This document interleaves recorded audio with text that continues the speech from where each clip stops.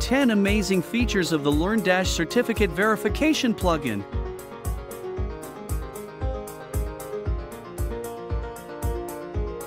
Unique ID creation and association. The plugin automatically generates a unique ID for each certificate issued to users. This ID is then linked to the user who earned the certificate, providing a foolproof method for verifying the authenticity of their achievement. Admin Dashboard Overview Site administrators can view a list of generated certificates, complete with the user's name, course name, and the date of generation. This helps keep track of users' progress and accomplishments. Mobile Responsive Verification Page. A shortcode is provided for creating a mobile responsive verification page.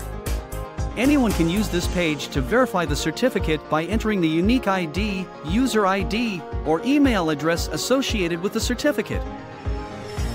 Multilingual support. The search page for issued certificates now supports all languages that LearnDash supports, making it accessible to users around the world.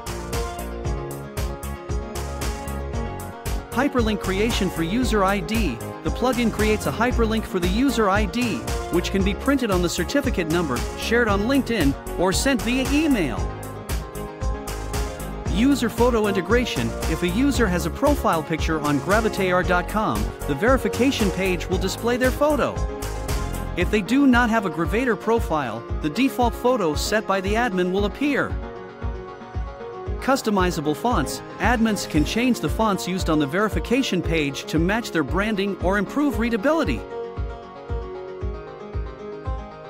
Print certificate from verification page. Users can now print their certificates directly from the verification page, providing a convenient way to obtain physical copies of their achievements. Admin control over verification page details. The new version allows admins to choose which details to display on the verification page, ensuring that sensitive information remains secure. Now you can generate a QR code for the LearnDash certificate verification link on the course certificate. This facilitates an automatic verification of whether the certificate is genuine or not.